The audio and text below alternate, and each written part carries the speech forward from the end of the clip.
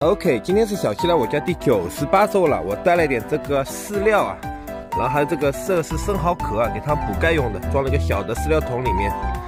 好，我们今天先给它们的粑粑换一下，我发现它们鸡舍里面好久没换这个粑粑了，它们这个鸡舍里面好多粑粑，所以说今天把这个鸡舍抽屉抽出来，它们的粑粑给换一下。哇，这么多粑粑，好，把这个换一下，好，干净的木屑安排。好，现在他们小鸡的饲料 也安排，哇，全部冲过来吃饲料了。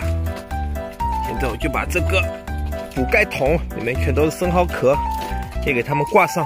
好了，补钙的生蚝壳也安排。我去，有有只小鸡越狱啊，跑到外边来了，把它赶回去。咕咕咕咕咕咕，回去吃饭，回去吃饭。跑出来干什么？里面有吃的东西啊！跑出来，好，关门。我们来看一下今天有几枚鸡蛋，顺便把他们的产蛋房的木屑也换一下。哎呀，今天四枚鸡蛋呀，这里两枚，这里也两枚。哎呀，拿不下了。好，把他们产蛋房的鸡粑粑也全部产出来。好，干净的木屑安排。好了，他们产蛋房也铺满了新的木屑，现在干净多了。好了。